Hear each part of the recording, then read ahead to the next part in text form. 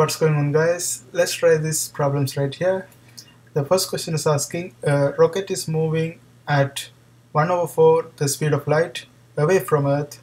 At the center of this rocket a light suddenly flashes to an observer at rest on earth. The first statement says that the light will reach the front of the rocket at the same instant that it reaches the back of the rocket the second statement says that light will reach the front of the rocket after it reaches the back of the rocket. And the third statement states that the light will reach the front of the rocket before it reaches the back of the rocket. And the last statement says states that uh, none of them are correct.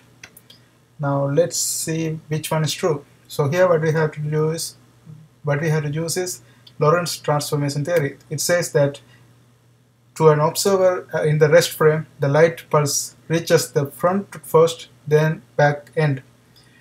And let's see which one matches that. Front first, back, then the back.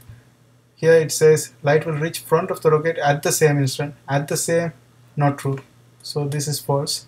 The light will reach front of the rocket after it reaches the back of the rocket. So this one seems correct. Let's see the third one. The light will reach front of the rocket before it reaches so before it's not correct. Before it reaches back the rocket is not correct. So this is the correct answer. So the answer is going to be B. Now let's look at the second question. The star is moving towards the earth with the speed of speed at 90 percent of the speed of light. It emits light which moves away from the star at the speed of light related to us on earth.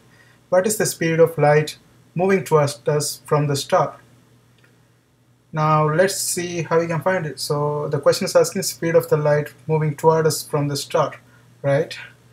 Now in order to find this one we have to use Lorentz velocity transformation equation and uh, when it's moving toward us we are going to have v is equal to v1 plus v2 over 1 plus v1 v2 over c square and v1 is here c and v2 is 90 percentage of the speed of light that's going to be 0.9 c.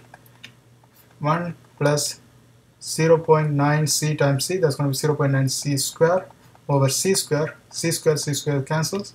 We are going to have 1.9 c on the top.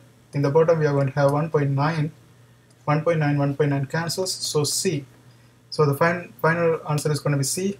So all the observers see the speed of the object as c and that's going to be the final answer. I hope this helps. Thanks for watching.